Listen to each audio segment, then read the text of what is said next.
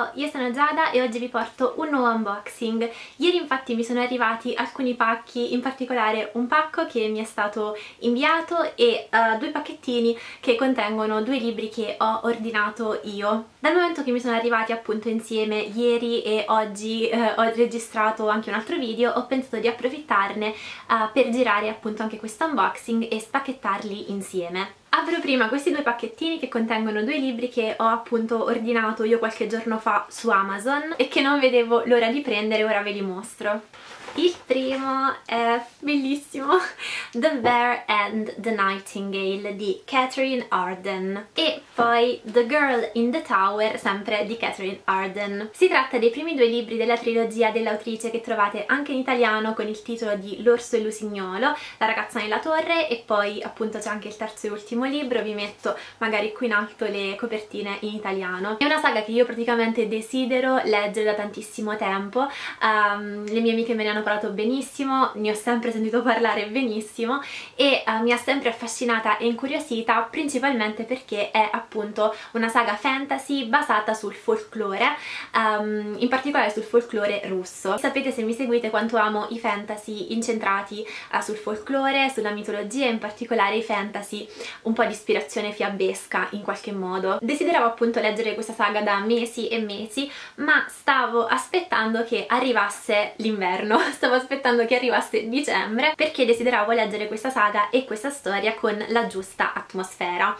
Sì, sono quel tipo di lettrice. Finalmente è giunto questo periodo per cui la prima cosa che ho fatto il primo dicembre è stata prendere questi due libri, ordinare questi due libri e appunto ora mi sono arrivati e li inizierò prestissimo. Si tratta appunto di una storia ambientata nel nord della Russia e dove si narrano ai bambini della famiglia leggende, storie eh, di magia, folklore e del Winter King, ossia del re dell'inverno. Ma per la selvaggia e giovane Vasia queste sono molto più che semplici storie. Questo perché lei può vedere gli spiriti che fanno da guardiani alla sua casa e anche sentire le forze della magia oscura che crescono nella foresta. Non vedo assolutamente l'ora di iniziarla, poi di prendere anche il terzo volume.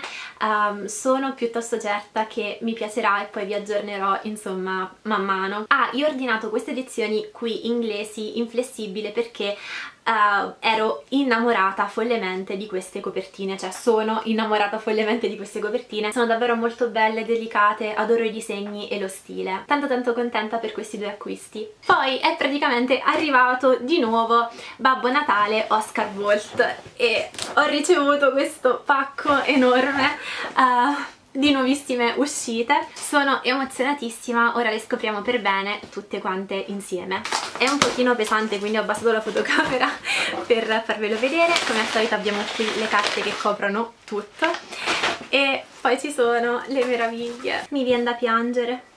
Allora i primi libri che vi mostro sono forse le edizioni che più attendevo uscissero qui da noi.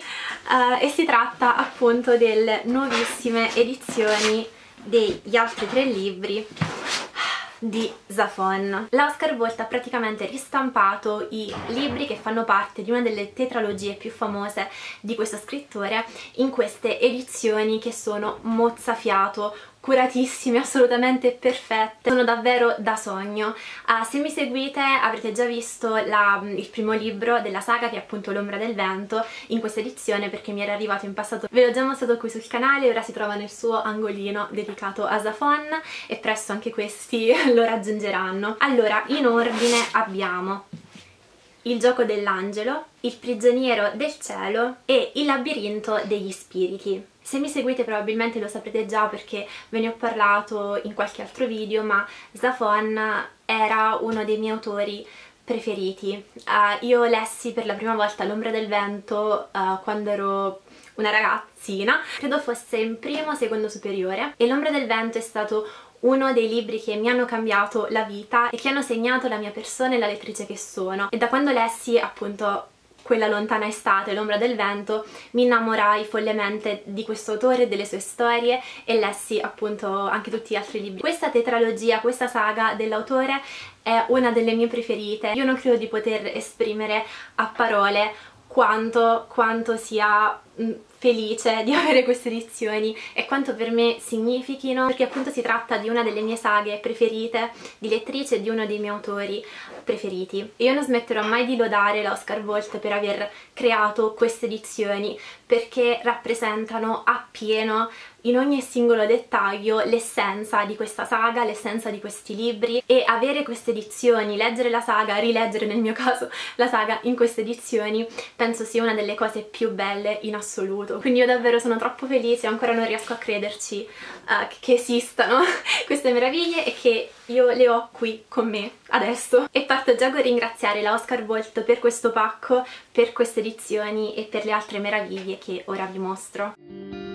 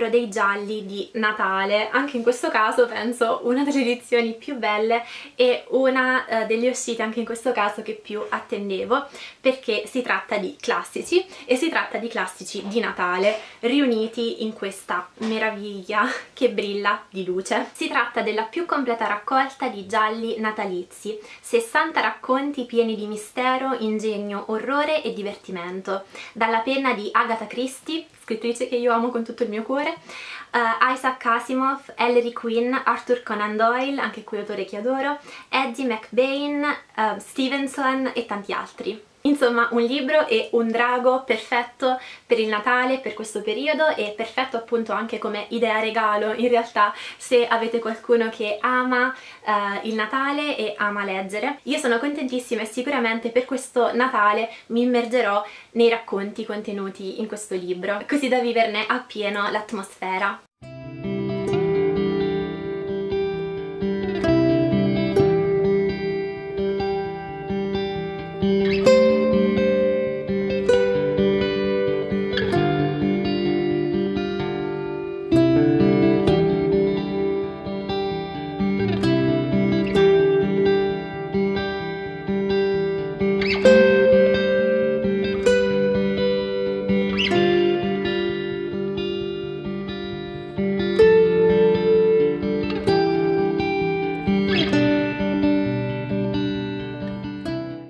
L'altra meraviglia del mio cuore, ossia La vita invisibile di Eddie LaRue di V.E. Schwab. Io sono qui incantata perché l'edizione e la copertina è bellissima e le pagine sono dorate e brillano, è come se fossero pagine di stelle, il che è perfetto per la storia, è un'edizione meravigliosa La vita invisibile di Eddie LaRue è il nuovissimo libro della Schwab che io ho letto, ho già letto e amato e vi, di cui vi ho già parlato appunto qui sul canale eh, nel mio ultimo video letture, trovate lì la mia recensione. Un libro che ho amato molto e che mi ha tanto emozionata, vi lascio il link, sono nelle schede giù nella info box se appunto volete conoscere i miei pensieri eh, riguardo questa storia. È un libro davvero meraviglioso e un fantasy incentrato appunto su questa ragazza Eddie che nel 1700 per scappare a una vita che non desidera, per ottenere la libertà che ha sempre voluto, si ritrova a fare un patto con l'oscurità.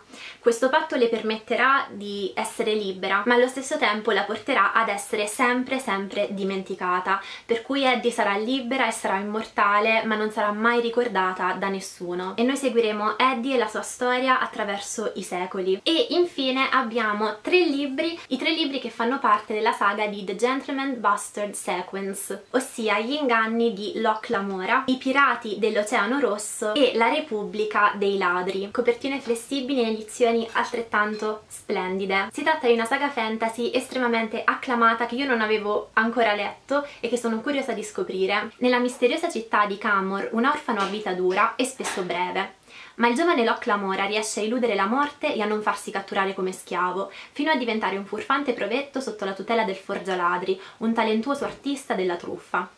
A capo della banda di fratelli dalle dita leste, noti come bastardi galantuomini, Locke diventa presto celebre e si fa beffe persino del più temuto re della malavita. Ma tra le ombre si annida qualcuno di ancora più ambizioso e micidiale. Di fronte a un sanguinoso colpo di stato che minaccia di distruggere qualunque persona o cosa che abbia senso nella sua esistenza, Locke giura di sconfiggere il nemico al suo stesso gioco crudele costi quel che costi. L'unboxing termina qui, io ringrazio ancora di cuore la Oscar Volt per questo meraviglioso pacco e queste splendide nuove uscite, vi ricordo che giù nella info box trovate tutte le informazioni per quanto riguarda i libri che vi ho mostrato in questo video e trovate anche i miei link di affiliazione codici sconto e i miei vari social network. Vi ricordo di lasciare un pollice in su se il video vi è piaciuto, iscrivervi al canale se non siete ancora iscritti e attivare la campanella in modo da essere sempre aggiornati quando posto un nuovo video e fatemi sapere con un commento se il video vi è piaciuto, se tra eh, i libri che vi ho mostrato oggi c'è qualcosa che avete letto anche voi o qualcosa di cui magari attendevate l'uscita e desiderate leggere. Io vi ringrazio tantissimo per essere stati anche oggi in mia compagnia, vi mando un bacione e ci vediamo nel prossimo video. Ciao!